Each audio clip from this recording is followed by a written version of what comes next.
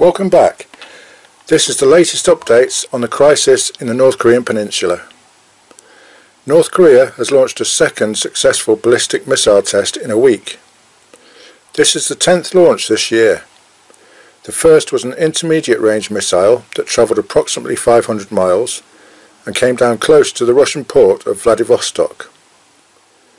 The second missile was described as medium range and of a different type than the first, travelling about 300 miles.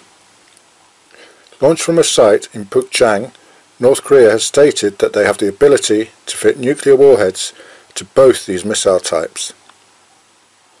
South Korea's Joint Chiefs of Staff have released a statement saying, Our military is closely monitoring signs for additional provocation by the North Korean military and we are keeping a full military readiness. North Korea has now boasted that this last test confirms it has the capability to reach Japan and even US military bases, claiming they were now combat ready. Kim Jong-un, the president of this rogue state, has approved the deployment of this weapon system for action and is calling for it to be rapidly mass produced. US Secretary of State Rex Tillerson said these continuous tests are disappointing and disturbing. Apparently this latest launch, while shorter than the one a week ago, was a success, enabling the North Koreans to verify technical information and its adaptability under various battle conditions.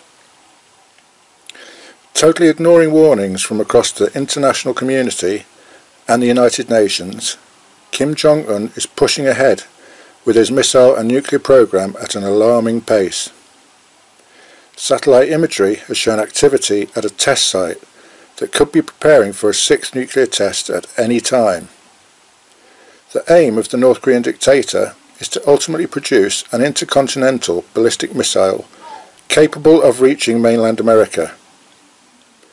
This is however a bigger jump than might be expected, as the technology to launch into high orbit and maintain a controlled descent to a target is highly complex.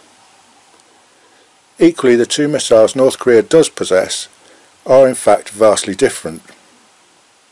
The medium-range ballistic missile is liquid-fueled and has to be moved to its launch position before being pumped with fuel.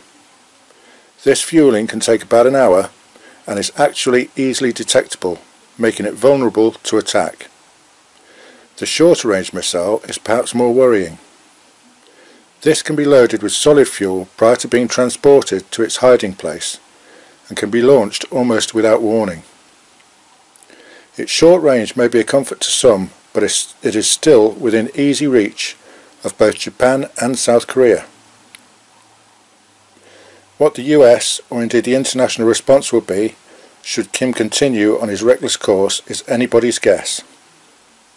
With Chinese border troops being taught North Korean phrases in case of refugees trying to cross the border, South Korean and US Marines training together to attack the North's nuclear facilities, an American nuclear submarine docked in the south, the USS Carl Vinson carrier and the USS Ronald Reagan carrier conducting exercises on the Korean Peninsula, Chinese fighter jets intimidating American aircraft, Japan sending its largest warship to the region, and Russia's air force on high alert, one can only wonder how long it will be before somebody crosses the line.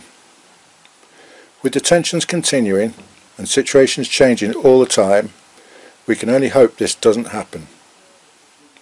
Thank you for watching. Check back for further updates as they develop over the coming days and don't forget to press that like button.